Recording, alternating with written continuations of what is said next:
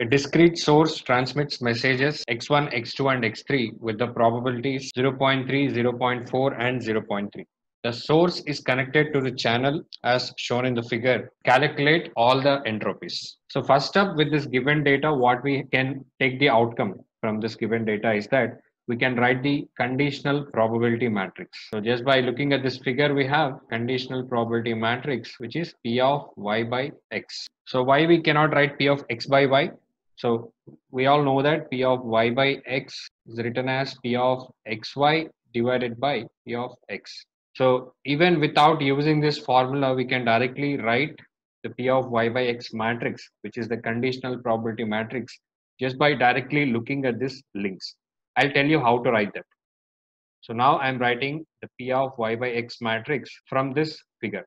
So here I'll be writing x1, x2, x3 and on the columns we have y1 y2 and y3 so what we have to identify is whether there is a link between x1 y1 if there is a link between x1 y1 some arrow is there.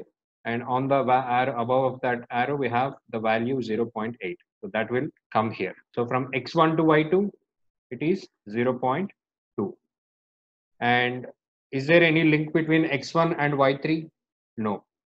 So x1 is here, y3 is here. So no link is there. So we write that as 0. And similarly, x2, y1. Is there any link? No link. That is why it is 0. Then x2, y2. So we have a straight connection and that value is given as 1. And x2, y3, no link. And the answer is 0.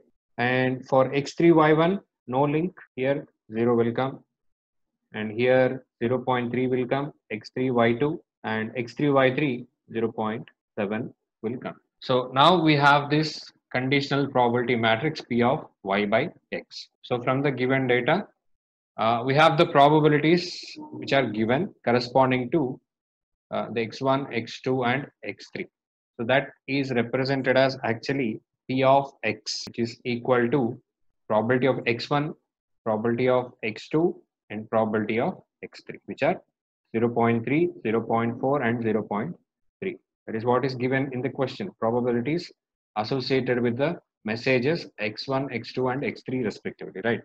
So we have this 0.3 0.4 and 0.3 so we have the probability matrix p of x and the conditional probability matrix p of y by x.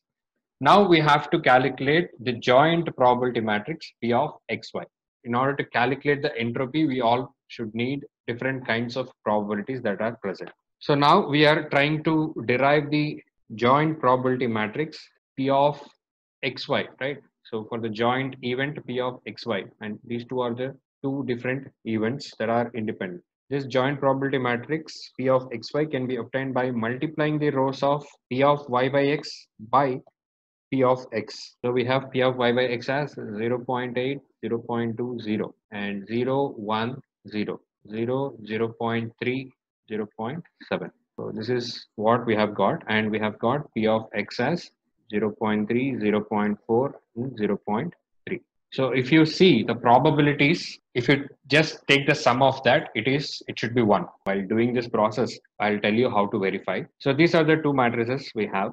And in order to get this joint probability matrix p of x by xy so what we have to do is so these are the rows so this particular rows should be multiplied with this P of x1, x2 and x3 respectively, which means the first row should be multiplied with x1, second row should be multiplied with x2 and third row should be multiplied with x3. So let us do that. We get the conditional probability matrix P of xy which is equal to first row should be multiplied with x1 0.3 so now we have 0.8 into 0.3, then 0.2 into 0.3 and 0 multiplied with anything is 0. Here also we get 0 and second row we should multiply with x2. So 1 multiplied by 0.4 and here also 0, 0 will come. Here we have 0. Third row should be multiplied with x3. So 0.3 multiplied with 0.3 and 0.7 multiplied with 0.3. So if we calculate this, we get the joint probability matrix P of xy. So which we get as 0.8 into 3 multi 8 3 is 24, right? Then 3 2 6 0.06. Here we get 0, 0. 1 into 0 0.4, 0 0.4, 0. Just by looking at it, we don't even need calculator. It is 0 0.09. 7 3 is 21. So it is 0 0.21 x1 x2 just for convenience sake i am writing this. And here we have y1 y2 y3 and this is the joint probability matrix that we got. So if you want to check whether the answer or the matrix that you have got is correct or not the sum of all the entries within this matrix should be equal to 1 so if we get it as 1 then we can assume that the matrix that we have got is correct and then the probabilities P of y1, y2, y3 now can be obtained. So I'll tell you how to calculate those probabilities P of y1, y2 and y3. So this can be obtained by adding the columns of P of xy. So we have got this P of xy, right? So now we have these columns. This columns, if we add up, then we can get P of y1, P of y2 and P of y3, the corresponding probabilities. So just add up those elements which are present in y1 column. P of y1 will be 0.24 because other elements are 0. So for P of y2, what is the sum of this? 0.06 plus 0, uh, sorry 0.4 plus 0.09. We get as 0.55. If you have a calculator, just calculate and cross check and similarly for p of y3 we get 0.21 so all these things has to be summed. And that is what we get as y1 y2 and y3 the corresponding probabilities. So now we have derived from the joint probability matrix this individual probabilities of the output events the y events as well so now what we're going to do is that we are going to calculate the conditional probability matrix P of x by y. So from the given data, we have written P of y by x, right? So now I want to calculate P of x by y. So how to calculate that? P of x by y will be equal to P of x comma y divided by P of y, whichever is there. So it is actually the joint probability divided by which is there in the denominator. So P of xy divided by P of y. So from this we can conclude that the conditional probability P of xy can be obtained by dividing the columns of P of xy by P of y1, y2, y3 respectively. So that's what we are going to do in order to achieve this P of x, uh, x by y, the conditional probability matrix.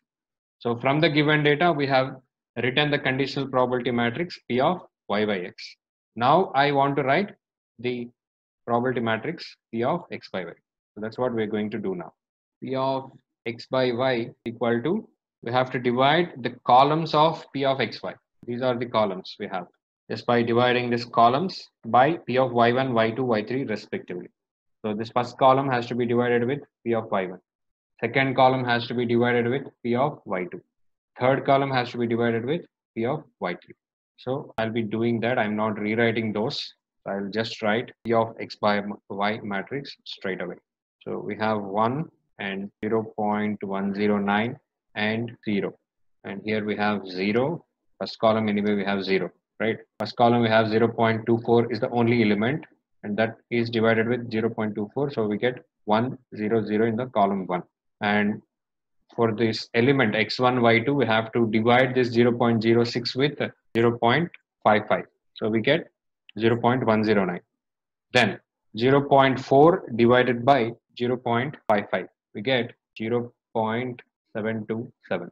Just approximate it to three digits. And 0.09 divided by 0.55.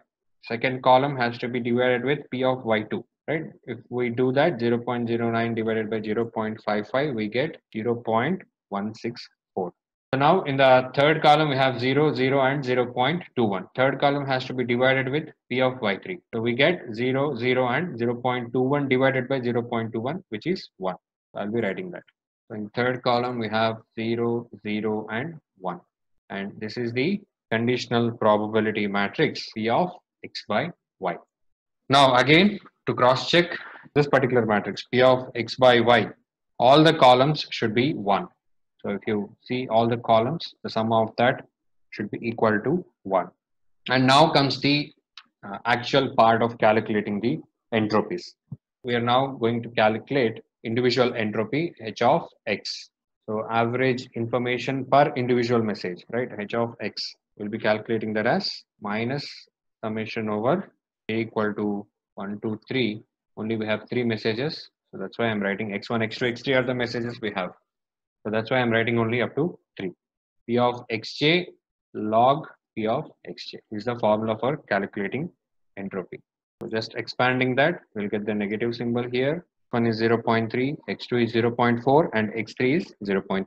Just I'll be substituting those values. P of x1 0.3 log 0.3 plus 0.4 log 0.4 plus 0.3 log 0.3. The answer we get is 1.571 bits per message. So that's about h of x, entropy related to the input. Now we are going to calculate h of y. Summation over k equal to 1, 2, 3. Outputs also we have 3, y1, y2, y3. So now we'll write p of yk log p of yk. And yk values we have p of y1 is 0.24, y2 is 0.55, y3 is 0.21. We'll just substitute that. Minus of 0.24 log 0.24 plus 0.55 log 0.55 plus 0.21 log 0.21 and similar way if we calculate this by taking log base 2 we get 1.441 bits per message right next we'll be measuring the joint entropy which is h of xy we have if you remember the joint entropy we have written this summation over j equal to 1 to 3 summation over k equal to 1 to 3 we get the joint probability here p of xjyk into log the probability of the joint event xjyk. So now we have p of xjyk or p of xy. So this is the matrix we have 0.24, 0.06, 0.4. I'm just telling those elements which are present 0.09 and 0.21. So excluding zeros, we have uh, how many elements? One, two, three, four, five elements we have. So now we'll be writing those five p of x, xy. So this is the probability matrix we have. So we'll be taking all those values which are present, excluding zeros. So I'm directly writing that. So if you expand the summation, like you will get uh, for j equal to 1, k equal to 1. Then for j equal to 1, k equal to 2. Then for j equal to 1, k equal to 3. And similarly for j equal to 2 and k ranging from 1 to 3. And for j value 3, k ranging from 1 to 3. So likewise, you will get multiple number of terms. And because those, so and we have the summation here. So we'll, we have to add up all those terms. So simply I'm writing it. First term we have 0.24 log 0.24. And the second one we have 0.06. 0.06 log 0.06 plus 0.4 log 0.4 plus 0.09 log 0.09 plus the last element, the fifth element, we have 0.21 log 0.2. So if you calculate this, you get 2.053 bits per message. So similar way, we can calculate the conditional entropy. So now we have calculated the individual entropies and the joint entropy. Individual entropies are h of x, h of y, and h of xy is the joint entropy. Now we have to calculate the conditional entropy h of x by y and h of y by x. So now I am doing h of x by y, the conditional entropy. So summation over j equal to 1 to 3, summation over k equal to 1 to 3, p of xj yk. Only difference is that we get log p of xj divided by yk. And for this case, for h of y by x, the formula I have to use is same, but probability, the conditional probability will change. P of yk divided by xj will get. So that's the only difference. Remaining all will be same. Just try doing it. I'll do P of x by y. So minus of 0.24 log 1 plus 0.06 log 0.109 plus 0.4. Like what you have to do is we have P of xj yk, right? There is that x by y, P of x by y, right? This matrix. So we have to uh, multiply this entire matrix with Of xy. So the first one 0.24 multiplied with 1 log 1 the conditional probability then 0.06 multiplied with log 0.109 then x2 y2 we have 0.4 log 0.727 then we have here 0.09 log uh, 0.164 and the last element x3 y3 is 0.21 which is multiplied with log 1 you understood that so whatever the elements that are present here in this matrix P of xy, we are multiplying that with the corresponding logarithm value of this probabilities. 0.4 log 0.727, 0.09 log 0.164 and we get P of x by y as 0.612 bits per message.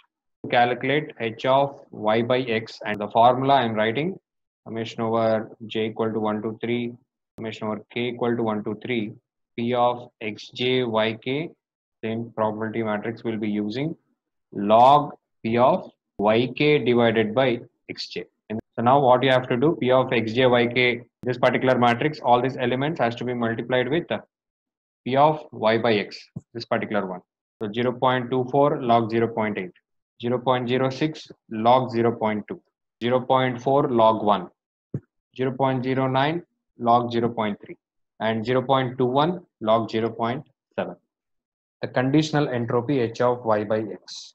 You should get H of y by x as 0.482 bits per message.